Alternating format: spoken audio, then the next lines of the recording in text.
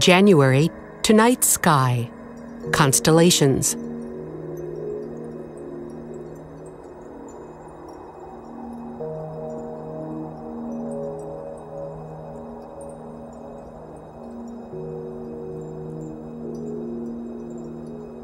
The winter sky is filled with brilliant stars.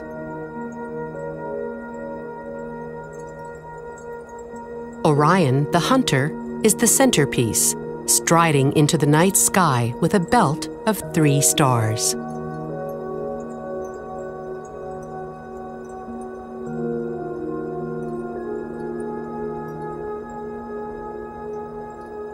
Above Orion lies a five sided figure that forms Auriga, the charioteer, who was associated with goats. Its brightest star is Capella, which is actually a pair of giant yellow stars.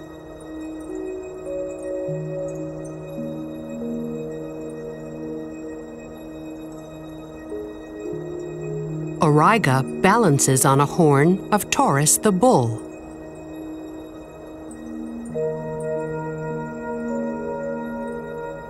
In Greek mythology, Taurus was seen as the god Zeus in disguise.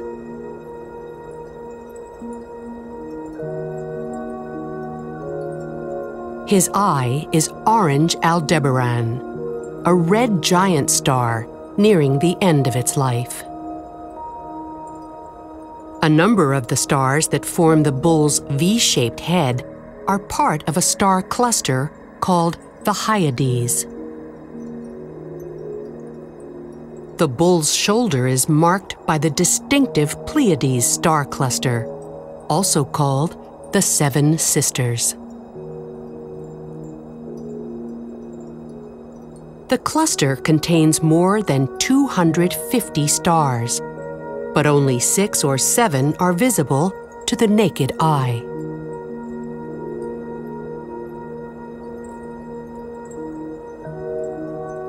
This view of the Pleiades from the Palomar Observatory shows the brightest stars surrounded by a dusty cloud. The dust reflects the blue light of these hot stars.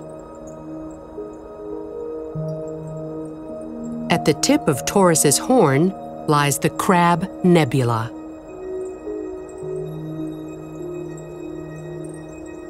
The crab is the remains of a star that exploded as a supernova observed by Chinese, Japanese, and Arab astronomers in 1054. Telescopes on the ground and in space have observed different forms of light given off by the Crab Nebula.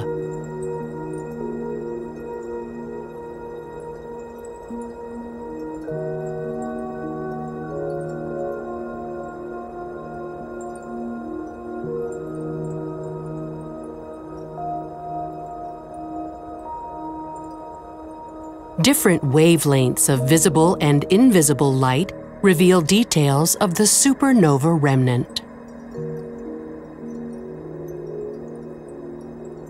Combining information from different wavelengths helps us better understand the expanding cloud of glowing gas and the spinning neutron star that remains at its core.